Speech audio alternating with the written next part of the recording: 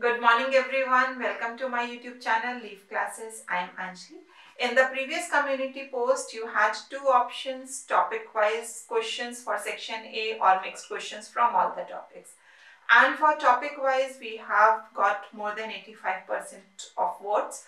So we are going with topic-wise questions for section A. And we will be following strictly the board syllabus for your exams 2021. Now let me tell you how we are going to do this. For each topic you will have at least two videos. In the first video the questions will be given in the PDF form and the link is always there in the description box. You can check the description box and download the PDF and you can start solving that right. So my advice is to make a separate notebook for the revision classes and you can note down all the questions from the PDF, not all the questions first and then the answers.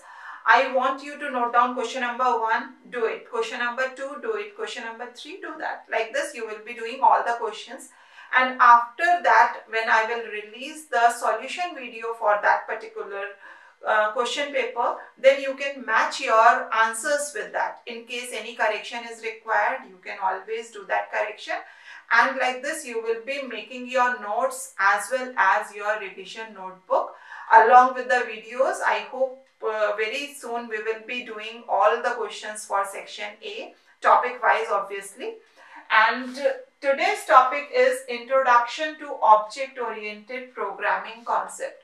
This is the first topic of your syllabus. This topic can be used by class 10 children for the preparation of your pre-boards and as well as board exam. And class 9th children also you can use the PDF for preparation of your exam. This topic is there in both the classes, class 9th as well as in class 10. I got many comments from the children that they have not yet started the preparation of computer application.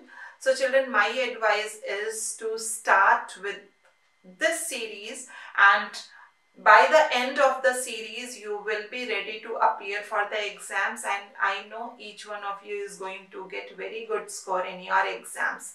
And along with the solution of these PDFs, you can watch other videos also of the related content, attempt the quizzes. Quizzes are also very helpful. I am getting many comments from many children that quiz is helping them in preparation of the topic. So my advice is to prepare all the topics very nicely. My best wishes with each one of you for our practice series and let us grow together, work together and please share the videos with your ICSE friends also.